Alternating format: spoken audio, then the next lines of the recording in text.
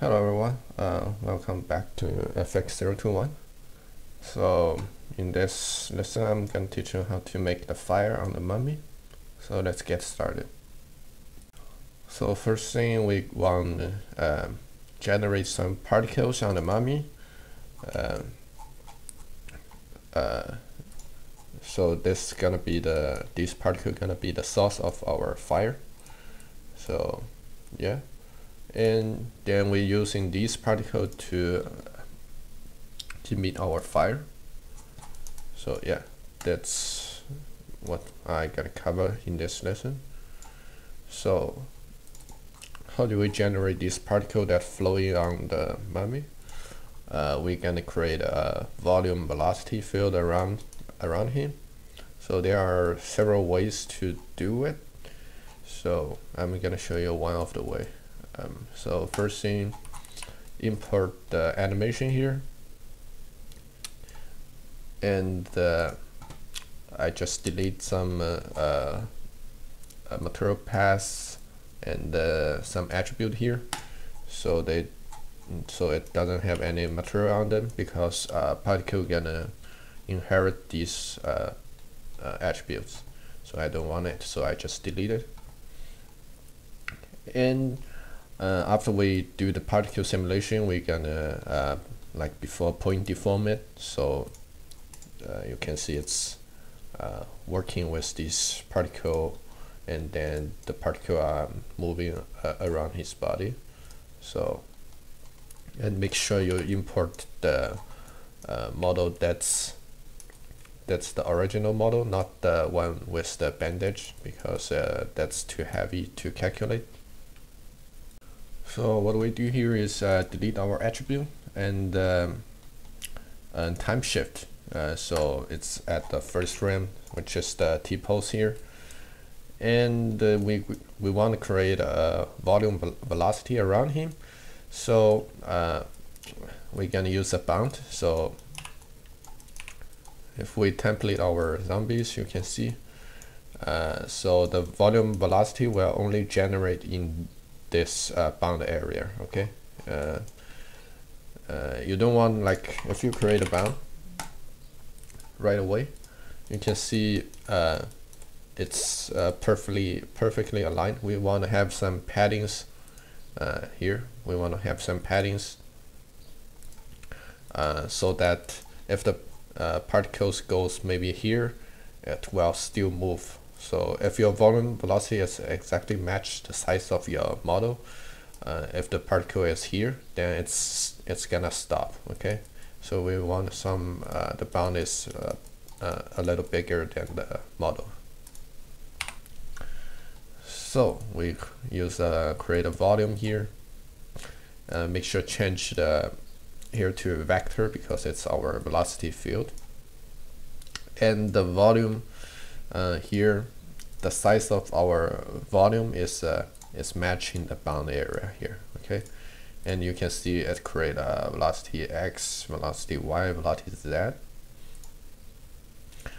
And we can use a volume VOP to calculate the velocity field. So here we're to create a VDB from polygons here.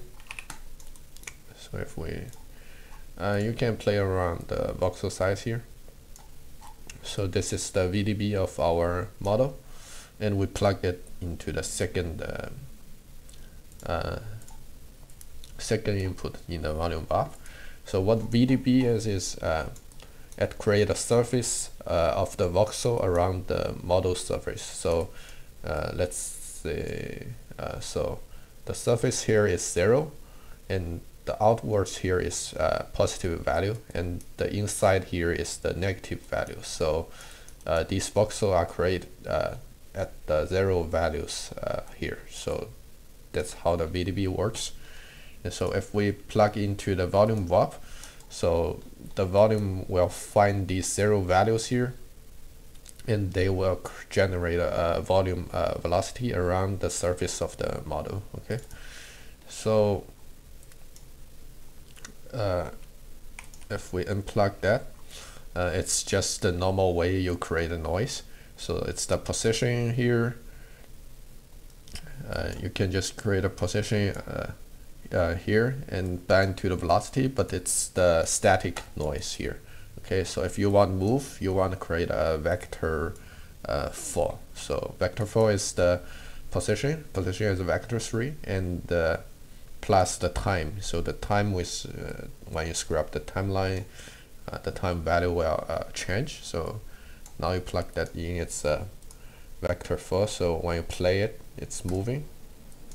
Okay, so if we unplug only the position, if you play, it's not moving. So yeah, so you can also uh, multiply maybe uh, multiply some value here to change the speed of the uh, the noise. So, but I'm not gonna do that. Okay. And finally, you bind it to the velocity. Uh, the velocity is the vector. So now the volume has the velocity uh, with noise.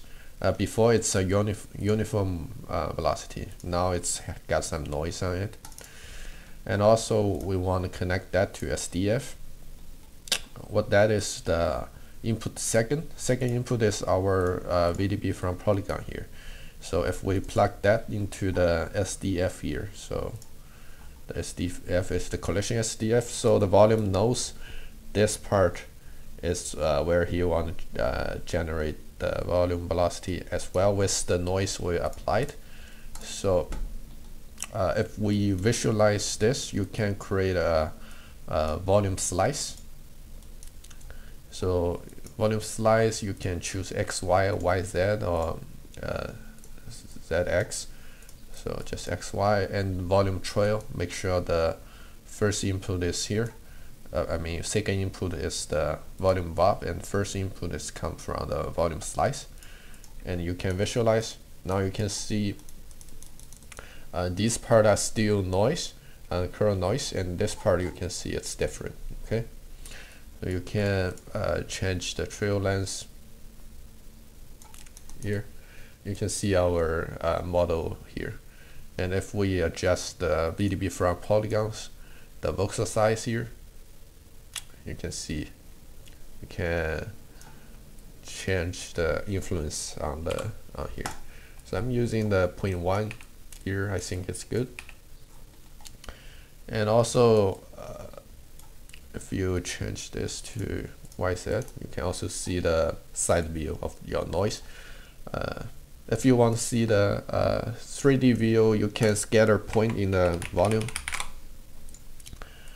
Uh, see. Uh, you can you can let's say uh, create a VDB from Polygon. VDB from Polygon. In a bound. Uh, see. Okay I think it's good. Change to density. Scatter points. And uh, use that to the volume trail. So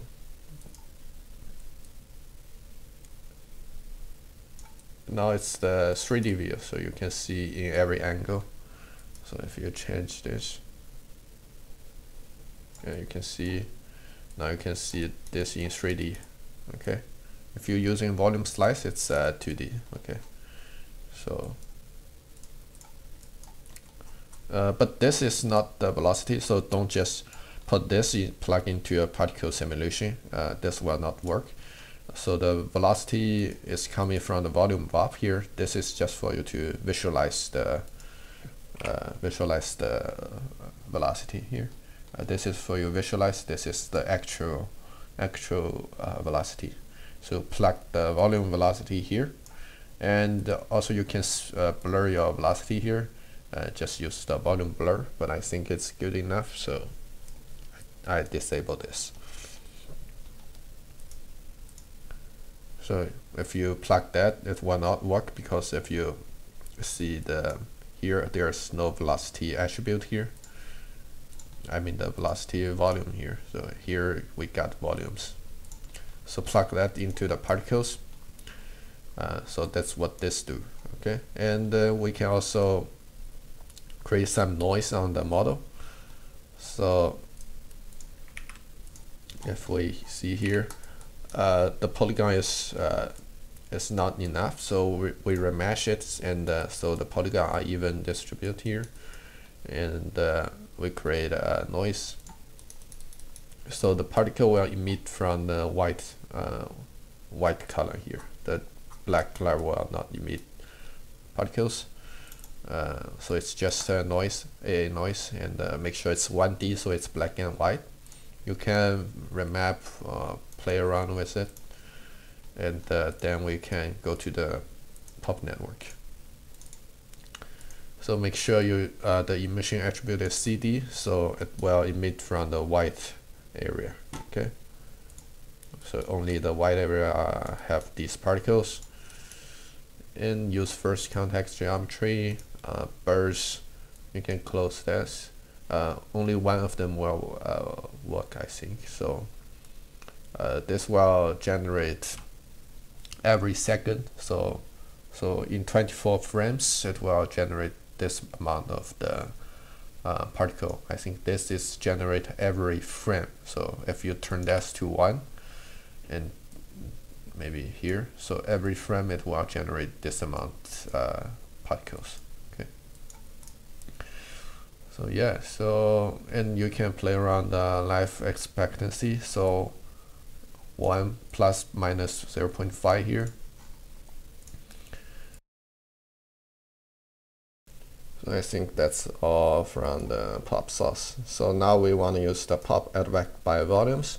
So we're going to use the second context geometry, which is our uh, volume VOP here. So you can, the velocity here, you can adjust the velocity scale. The default is uh, too much, so you just reduce it you can use the update position, update force, and you can play around to see which one is better. So yeah, I think that's basically it. So if we play it, you can see the particle are flowing around the bodies. Uh, one thing you're gonna notice is uh, uh, around his uh, foot here, you can see these particles are a little bit uh, are connected so we're gonna uh, solve that later. And that's because our uh, volume velocity is not precise enough so they kind of uh, connect these in the in here. So yeah but we're gonna solve this uh, when we do the point deform.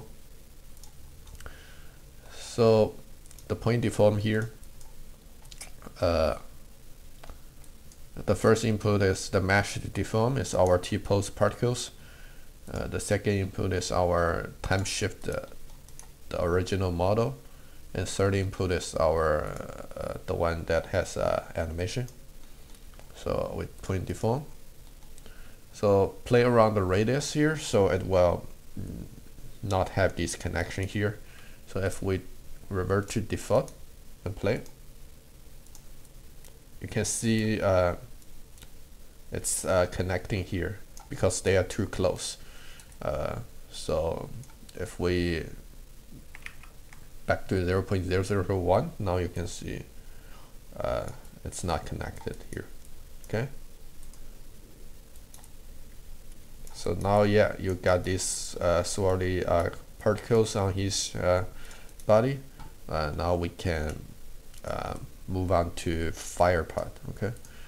So we delete the CD attribute and put out here. And that's how you source the particles